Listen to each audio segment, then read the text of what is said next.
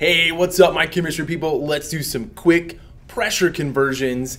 At this point in the year, you should be pretty comfortable doing these types of conversions. Important to note before we start, you will be provided with the relationships that exist between the different units of pressure on your formula chart. So these conversion factors are not something that you're gonna have to memorize. All right, let's dive in. It says the average atmospheric pressure in Denver, Colorado is 0.830 atmospheres. First, we're asked to express the pressure in millimeters mercury. So, as with all other conversions, I'm gonna start with the amount that I'm given in the problem, in this case, 0.830 atmospheres. I set up my conversion, atmospheres at the bottom to cancel out, millimeters mercury on top.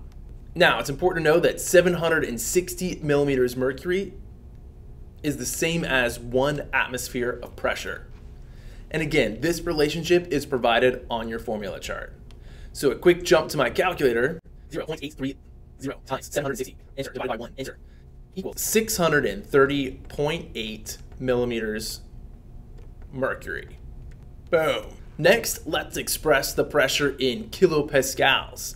Again, starting with the known amount, 0.830 atmospheres. Converting from atmospheres to kilopascals, one atmosphere is 101.3 kilopascals. Which I'll take out there, 0.830 times 101.3 equals 84.079 kilopascals.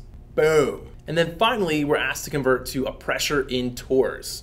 Once again, 0.830 ATM atmospheres atmospheres in the denominator to cancel out, torrs on top, 760 torr in one atmosphere. I don't even need a calculator for this. Millimeters mercury and torrs have the same value.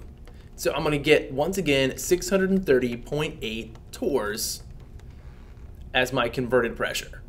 Boom. Now, before we finish up, let's check sig figs. I should have three sig figs in my final answer. So here, 631 millimeters mercury. Here, 84.1 kilopascals.